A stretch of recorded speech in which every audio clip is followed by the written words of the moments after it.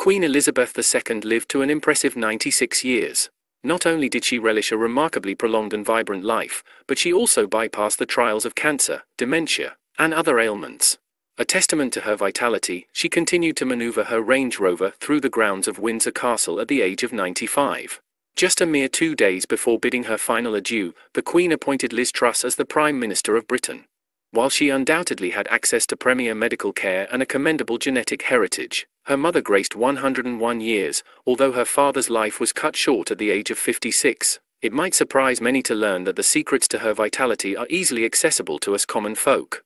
Renowned British culture researcher Bryan Kozlowski delved extensively into the Queen's life, unraveling the mysteries behind her longevity, robust health, and unwavering stamina in his celebrated 2020 publication, Long Live the Queen 23 Rules for Living from Britain's Longest Reigning Monarch. Speaking with the New York Post, he lauded the monarch as the epitome of well-being and vitality. In this video, we will highlight five aspects of the Queen's lifestyle that contributed to her enduring 96 years, including an exploration of her top five dietary choices.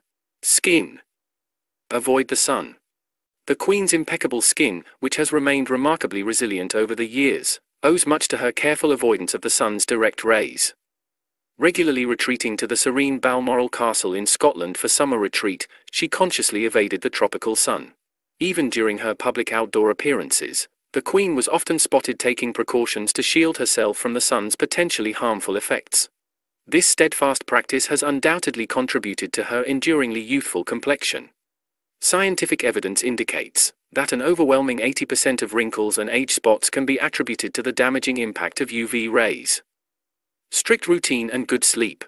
The cornerstone of Her Majesty's robust lifestyle is a structured daily regimen, rising promptly at 7:30 a.m. with a cup of Earl Grey tea and ending the day at 11 p.m. with a good book, affording the Queen a solid 8 hours of slumber. Studies reveal that the optimal range typically falls between 7 to 8 hours per night. A comprehensive study tracking over 21,000 twins across a span of more than 22 years found that individuals who consistently slept less than 7 hours or exceeded 8 hours per night faced an elevated risk of mortality, marked at 24% and 17% respectively. Furthermore, reliance on sleep aids, indicating underlying sleep disturbance, magnified the risk of mortality by about 30%. One of the most effective approaches to fostering sound and restful sleep is regular physical activities.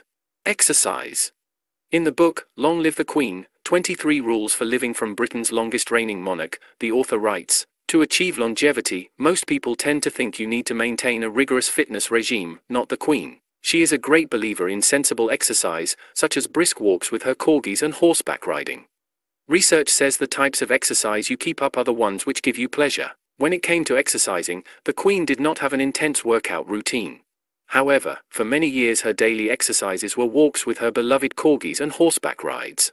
Walking is one of the best exercises for all ages, and a recent study by Professor Borja del Pozo Cruz from Spain found walking 10,000 steps a day could cut the risk of dementia in half. For those who can't walk so far, just 4,000 daily steps can reduce dementia risk by a quarter. Also, faster steps provide superior results.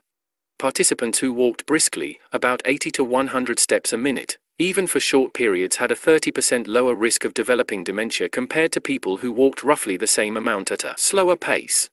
They also had reduced risk of developing cancer and cardiovascular disease. According to the National Institute of Health, United States, interacting with animals can lower cortisol levels, decrease blood pressure, and help in managing stress.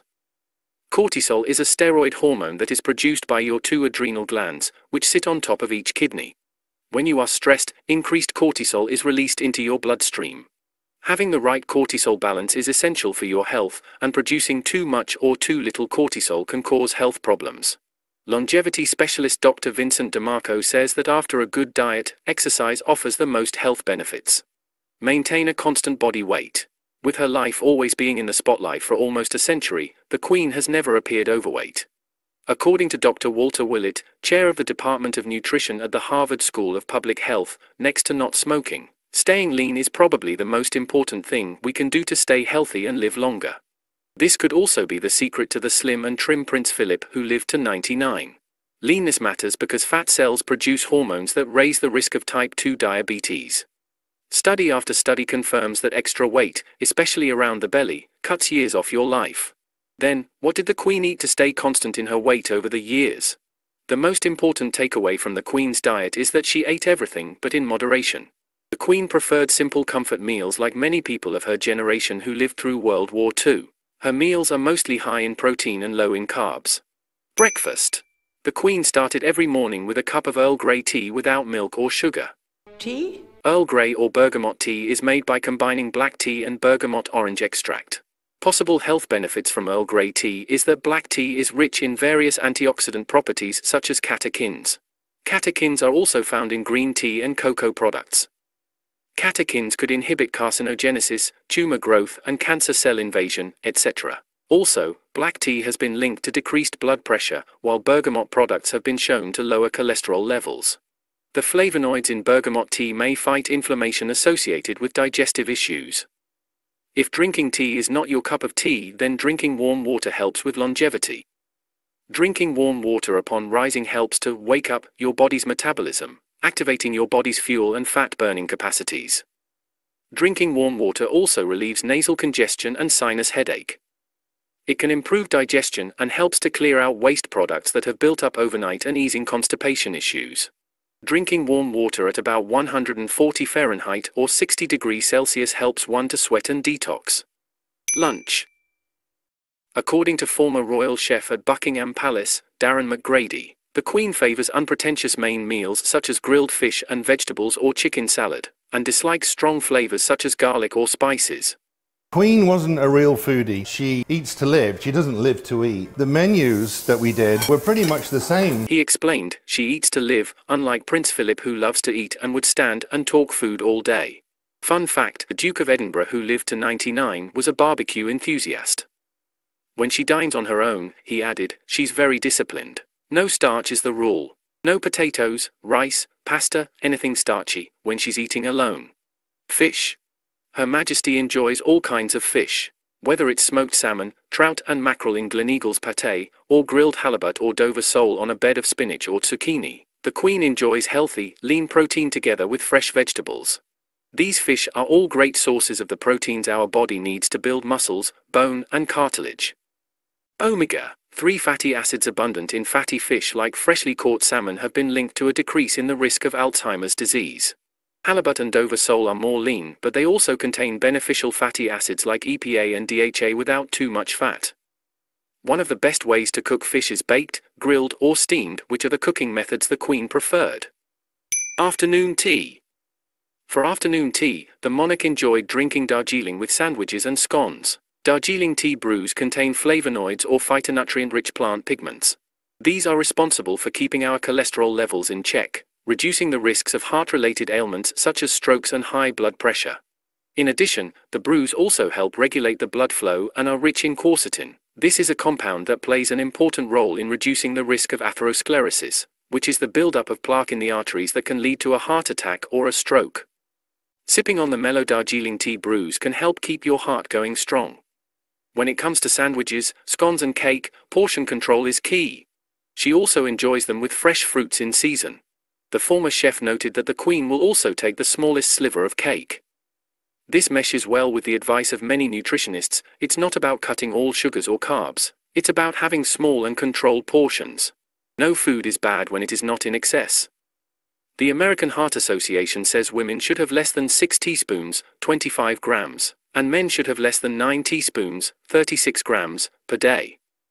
Chocolate. The Queen is a known chocolate lover. She particularly loved dark chocolate. The not too sweet dark chocolate is rich in powerful antioxidants that can help reduce inflammation and support heart health. Dinner. Unlike many featured in this healthy long life channel, the Queen enjoyed her meat. While some sources say that Her Majesty prefers a relaxed meal of lamb, roast beef, mutton, grouse, or salmon most evenings, others say she enjoys a Sunday roast after church or Gaelic steak made from fillets of beef and venison, deer meat from Sandringham and Balmoral, served in a sauce of mushroom, cream, and whiskey. Whichever type of meat it is, she doesn't do rare, only well done. Dr. Stuart Phillips of McMaster University said, older people are not consuming enough protein. They are not getting their recommended daily amount. They should be consuming a high quality protein five times a week and increase their activity. From a nutrient density standpoint, lean beef is going to win hands down.